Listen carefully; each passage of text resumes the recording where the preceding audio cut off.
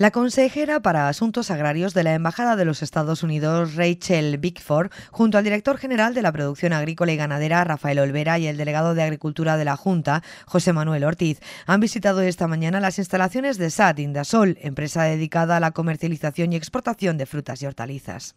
Una visita en la que Bickford ha podido comprobar la gran calidad de los productos de nuestra tierra, los cuales a su juicio tienen un gran potencial a la hora de las futuras relaciones comerciales en materia hortofrutícola con su país.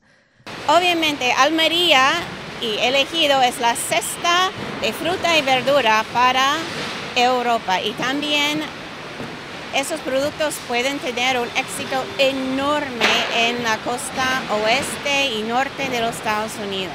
¿no? Yo creo que cuando firmamos, bueno, no sé si saben, los Estados Unidos y la Unión Europea estamos negociando un acuerdo de libre intercambio y si cuando lo firmamos va a ser más fácil para pequeños exportadores o pequeños negocios o cooperativas tener acceso al mercado más grande y unificado en el mundo de los Estados Unidos. Por su parte, el director general de la Producción Agrícola y Ganadera de la Junta de Andalucía, Rafael Orbera, explicaba que esta visita se debe a una carta que en su día remitió la consejera de Agricultura, Carmen Ortiz, a la embajada estadounidense, en la que les invitaba a conocer la realidad agrícola de nuestra región.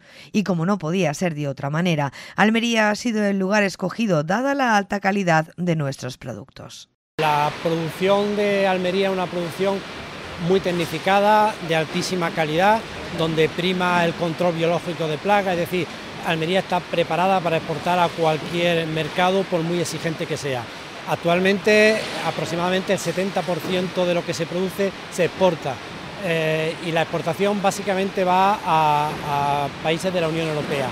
Eh, Estados Unidos está ahí, es un país tercero y tiene un potencial importante. Ahora está en negociaciones el acuerdo, veremos a ver lo que pasa con el acuerdo, pero evidentemente es un potencial muy importante.